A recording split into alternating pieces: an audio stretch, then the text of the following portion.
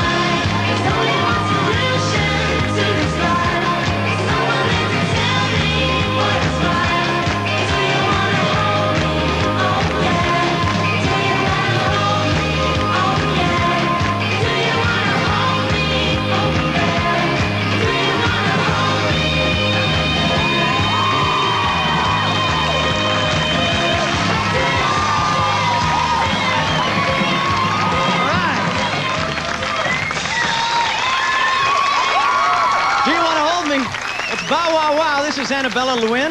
Hello, how do you do? Tell us who's in your band. Uh, Matthew Ashman, guitarist. All right. David Barbarossa on drums. and Leroy Gorman on bass. On bass. All right. Listen, we have some questions from the kids. Do you mind? All righty. Who have we got here? What's your name? Debbie, Debbie, what's your question? um, how did you come up with the name? Uh, I think Leigh, Leigh will answer that. A dog came up and said it to me one day. All right. You have a question for him? Yeah. How did you get your start in show business? I was working in a dry cleaners just like yourself, um, you know, like a normal schoolgirl. And um, I just got a job. Uh, Malcolm came in one day and asked if I wanted to join a band. I said, yeah, why not? Anything better than this, work in this dump, so I did. In a dry cleaners. My goodness, you got a question? Yeah, um, how long has your hair been in a mohawk? Um, well, Matthew was the first one to get his hair done as a Mohican. It was a lot longer than me. I got mine done on a bus by a friend of mine. She sort of got me down the floor and strangled me and said, you're going to get your hair done. so I said, all right, no and, qualms. and took it to you. You got a question? Uh, yes, when is your next record coming out? Well, we've got an album coming out. Well, album actually out now. It's called When the Going Gets Tough, The Tough Get Going. And the single is also Do, Do You Want to Hold Me, which is just done for you. All righty. That's on RCA. Yeah, that's right. Listen, thank you for coming. We're Dancin' is going to be right back, so don't go away. Yeah.